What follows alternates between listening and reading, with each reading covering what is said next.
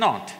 Well, okay, uh, Sadhguru, I, I personally feel that this whole uh, dichotomy of what's happening in today's society and today's world, that we are individuals and we need to be organized as well, but we, what we face on every day's, um, on daily basis, it's, it's something completely different, which I mean, I, will tell you where, for me, like, it, it's very uh, conflicting because, like, I'm working on a martyrs uh, biopic where there is a scene uh, that my, the protagonist, Lakshmi Bai, she goes and she saves a calf.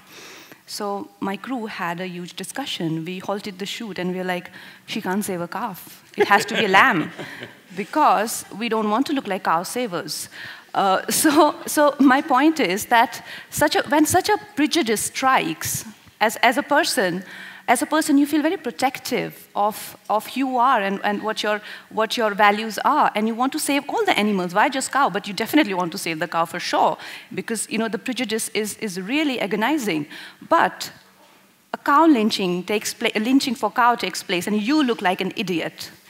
And then you jump to the other side, which, is, which has been always criticizing and never wanting to be protecting cows. And you're like, these people look sensible, and these are so-called liberals. And now, now liberals, by definition, because I've learned English now just recently, so I have to access to dictionary for everything. So, so by the literal meaning, dictionary meaning of liberal is, is people who have uh, acceptance for people, opinions, thoughts. No, no, they're no, no, fanatics. No. no, that's what I'm saying. Now, Sadhguru, let me finish this question. So, so these liberals, they will not take you in their group unless you hate the same people as they do. So, so like one thing, it's fine if this is for the betterment of the country. You don't mind hating on BJP. You don't mind uh, believing that everything that is being done by, you know, like Amit, literally Amit Shah is practically doing. That's fine. But but what is? no, but what I don't get is, what I don't get is, this I get. I, what I don't get is, what is their agenda and plan of action for bringing the, this, this country out of the pit. What is that they're doing? So when, when a war breaks, liberals are the first one to say, from my, my industry, people say, why should we be bothered with war? We are artists. To demotivating an army man who's, who's protecting the borders for you. A rape takes place in Kashmir and they say, Hindustan raped our daughter. To be pointing fingers at each other when the, in, when the country is so vulnerable. And trying to break a civil war? Is that what liberals do? And you're like, wait a minute, the most sensible thing seems like to be a, a skeptic. But a skeptic is nothing but a space cadet. Doesn't know where he's going. So right now, we need a definite direction to go into. We cannot be stuck in the unfortunate loop of to be or not to be, to be or not to be. So what to do? Wow.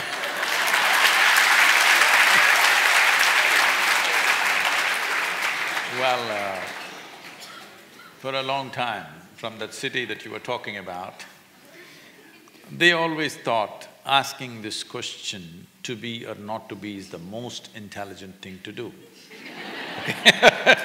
there uh, because they rarely came to existential questions. Existential questions is a daily affair for us in this country, but they, they rarely came to it so that is how rudimentary ways they addressed it. They thought it's the most intelligent question to ask to be or not to be. I think it's the dumbest question to ask because you have not tasted life. When you are really blissed out and ecstatic, do you ask to be or not to be? In some way you're frustrated, some way you're burdened, so you're asking to be or not to be. Leave that aside, that's the thing. First of all, Today in the world, people who claim to be liberals are actually fanatics. If you do not agree with them, uh, they'll finish you in some way. so, about Jhansi Rani saving the cow Well, she is a woman who stands out in our history and uh, you're just fortunate that you but she did save a cow. I'm like, listen, guys, rather than fighting, why don't you access the facts? They're like, they, she did save a cow, but we should not See, show it as a cow. Is, uh, we don't know who wrote the story. She didn't save one cow. Cows would have always been saved because in this country, which is a pastoral country, cow and uh, cattle was the wealth of this nation. If you look back at Mahabharata, they're not talking about land as wealth, they're always talking about cattle as wealth because land was there plenty. Cattle, how many thousand head of cattle did you own, decided how rich you are. So if somebody stole a cow, they caught you and beat you up, all right? Yeah, that's how it is in back home as well. Like I come from a village and sometimes so, the only thing that I'm they saying have uh, this… this whole lynching debate that's going on in the country, these people who are talking about it have not seen India. They've not seen India at all. They're just living in cities and television studios and endlessly talking about these things. Let me say this clearly, I've always been connected with rural life. I have… in my life, I have witnessed three lynchings, okay, I witnessed. In two, they were killed, in the other one, nearly killed. For what? One was because they believed this man could be stealing their children. People lynch, you know, even recently it happened. If you steal their children, if you steal their cows, if you steal… if you cut a tree and take it from his farm, these are three things for lynchings will happen. I have seen all three varieties. I tried to get into it and stop this. They said, you don't get into it and push me. The guy and buried him right there in the village, the entire village knows and nothing. He said, you don't get into this. I said, why? He said, see, this is how it is. They have their own law. I… I am a police officer, I enforce a certain aspect of the law. Rest of the law is handled by them in their own terms. So actually, this is a, a crowd because there is no actual total law enforcement in the country. Slowly it is coming, but it has not been there for a long time. People manage their own things. But Sadhguru, there's a lot of other atrocities, like for example… No, there are, there are. But let me finish this, because this is a big issue in the country today. So I'm not trying to prove this is the way to do it. All I'm saying is when mob tries to uh, enforce justice, their idea of justice, this is how it gets enforced.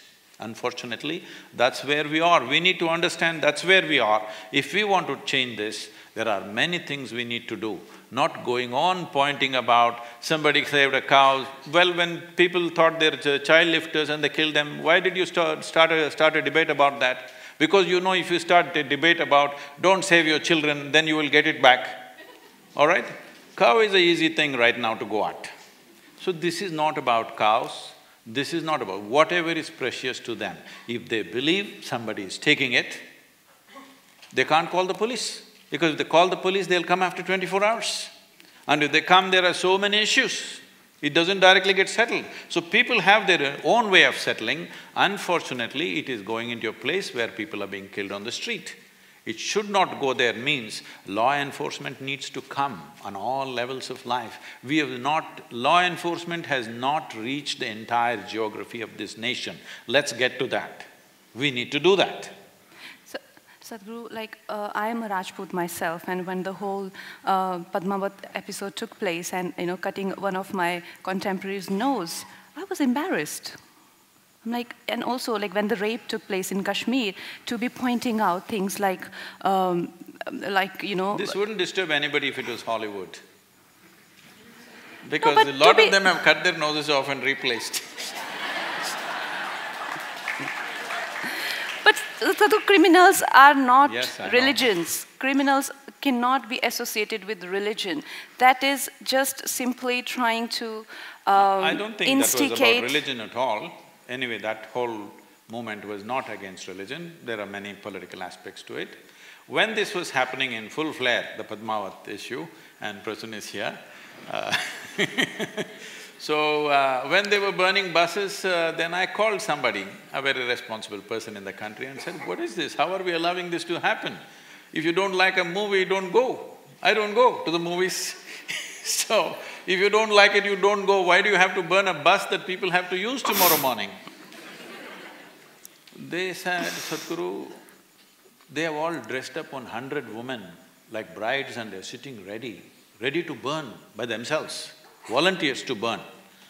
Today, if we handle them rough on the street, Tomorrow if these hundred women, even if ten of them burn themselves, it'll become an international issue.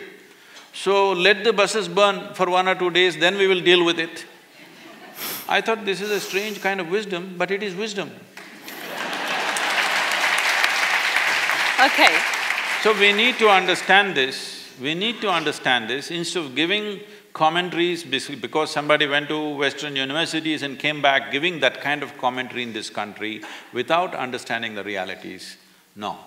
There are unfortunate realities of various kinds of divisions that people are trying to play up. When they don't get any voice to say something, they will gather one caste together, they will gather one community together, together or gather one group of language people together or religion together and do something on the street to get attention. The way unfortunate way that this become a culture to get attention is burn the bus. People, tomorrow morning they'll have to walk to their place, place of work. But burn the bus and get attention. In every other country, if they want to protest, they burn old tires. I think our people don't know how to take the tires out, so they're burning the entire bus.